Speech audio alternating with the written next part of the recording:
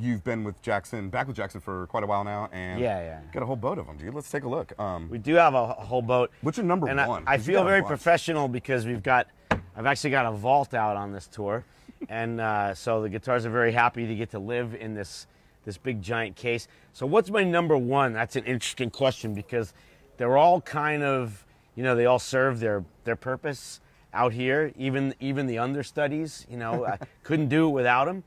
But uh, I mean, I start the show with this guy which they they built this one for me probably about oh, as I bang it into the thing. Um, they built this one for me.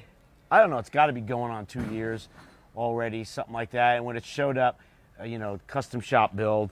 Um, uh, yeah, just all tricked out, man. You get yeah, FU tone. yeah. I've got. I've got Adam Reaver's handiwork on this guitar, the FU Tone Floyd.